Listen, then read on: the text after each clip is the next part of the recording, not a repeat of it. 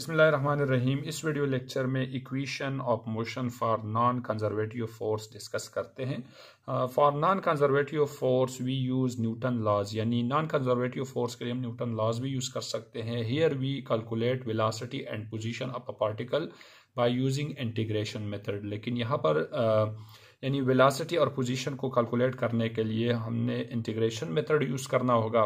तो velocity of a particle अब आ जाते हैं वेलासिटी ऑफ़ अ पार्टिकल पे। To find the velocity of a particle, we have to find the velocity of a particle, यानी velocity of a particle. यानी किस particle की अगर हमने वेलासिटी मालूम करना है तो इसके लिए वी हैव हमारे पास जो इक्वेशन बनेगा, यानी हमने एक्सेलरेशन का इक्वेशन कंसिडर करना होगा. लेट सपोज़ एक्सेलरेशन का जो इक्वेशन है वो है हमारे पास के a is equals to d v divide by d t तो इस इक्वेशन को रीअरेंज करके हमारे पास ये डी वी बराबर हो जाएगा। D v is equals to a d t के इक्वल हो जाएगा।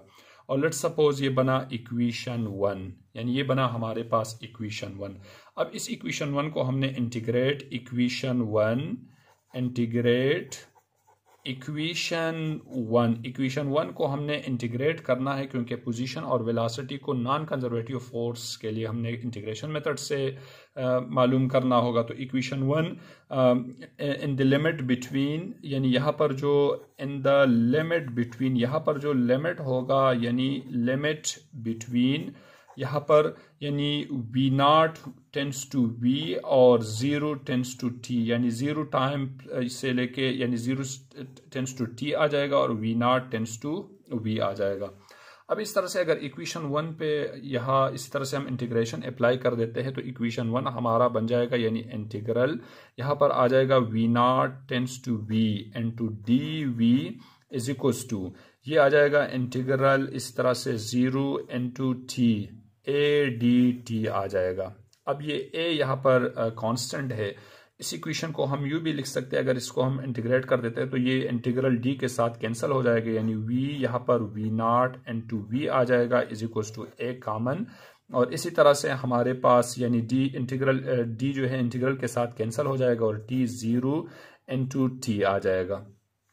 तो इस इक्वेशन को हम यू भी लिख सकते हैं कि यहाँ पर v माइनस वी नाट इसका solution v minus v naught is equal to a into minus zero आ जाएगा। अब जैसे कि अगर ए को हम ब्रिकेट के साथ मल्टीप्लाई कर देते हैं तो ये आ जाएगा v minus v naught is equal to a t आ जाएगा। और इस इक्वेशन को रीअरेंज करके, यानी v बराबर हो जाएगा v naught plus a t के इक्वल हो जाएगा। तो एक इक्वेशन हमारे पास ये बना। यानी दिस इक्वेशन लेट सपोज़ ये है इक्वेशन टू और इक्वेशन टू जो है हमारे पास विलासिटी ऑफ़ अ पार्टिकल यानी velocity of a particle under the action of non conservative force यानी equation two represent the velocity of a particle velocity of a particle यानी under the action under the action of non conservative force यानी non conservative force के respect से हमने यानी ये जो equation है, हमारे पास वेलोसिटी का इक्वेशन है। अब आ जाते हैं पोजीशन ऑफ़ अ पार्टिकल पे। तो पोजीशन ऑफ़ पार्टिकल के लिए हम ऐसा कर देते हैं कि to find the position of a particle we have to find the position of a particle we have तो इसके लिए हम कंसिडर कर देते हैं particle position position of particle of particle we have तो हमारे पास आ जाएगा अब पोजीशन के लिए हमें विलासिटी का इक्वेशन मालूम है कि v इज़ इक्व टू ये बराबर है d x upon d t के इक्वल है। और इस इक्वेशन को हम यू भी लिख सकते हैं कि d x divide by d t is equal to ये v आ जाएगा। अब हमें v की वैल्यूज़ मालूम है, v is equal to v naught plus a t अगर इसके अंदर हम put equation two let suppose ये बना इक्वेशन थ्री पुट इक्वेशन यानी put equation two in equation three अगर इक्वेशन यानी इक्वेशन टू को अगर हम इक्वेशन थ्री के अंदर रिप्लेस कर देते हैं तो ये आ जाएगा हमारे पास d x upon d t is equal to v की जगह पर आ जाएगा v naught plus a t आ जाएगा। यानी v naught plus a t इस तरह से डी एक्स बराबर हो जाएगा here d x is equal to d t into v naught plus a t आ जाएगा। अब अगर इसके साथ हम ये मल्टीप्लाई कर देते हैं तो d x is equal to यहाँ v naught d t plus a t into d t आ जाएगा। और लेट सपोज़ ये बना इक्वेशन फोर अब इक्वेशन फोर को हमने इंटीग्रेट करना है इंटीग्रेट यानी integrate equation four equation four in the limit, यहाँ पर जो लिमिट होगा, यानी हमने लिमिट कंसिडर करना होगा एक्स यानी यहाँ पर जो लिमिट है, यानी x naught is equals to यानी x naught is equals to x और जो टाइम है, वो बराबर होगा ज़ीरो टेंस टू टी आ जाएगा।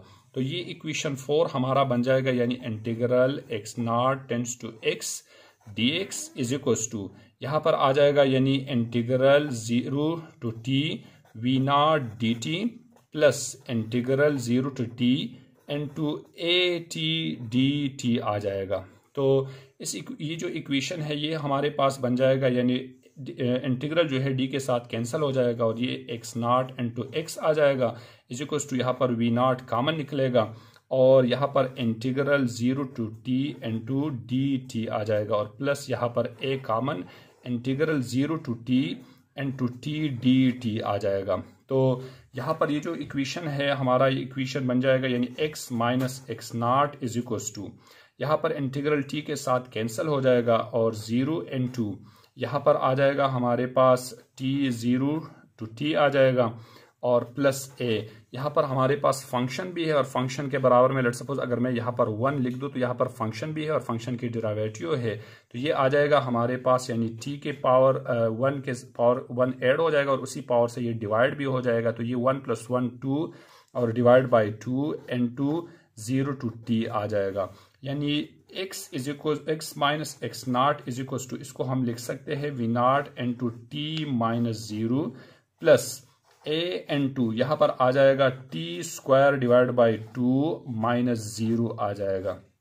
इस तरह से इस ब्रैकेट को अगर हम सॉल्व कर देते हैं तो x minus x naught is equal to यहाँ पर वी नॉट टी आ जाएगा और प्लस ये इसके साथ मल्टीप्लाई हो जाएगा तो one over two a t square आ जाएगा। और लेट सपोज़ ये बना इक्वेशन नंबर फाइव और इक्वेशन फाइव जो है, ये पोजीशन है यानी equation five represent the position of a particle equation ये जो फाइव है equation five represent the position of a particle position of a particle under the action position of particle under the action of non conservative force action of non conservative force तो ये था concept related equation of motion for non conservative force related अल्लाह हाफिज़.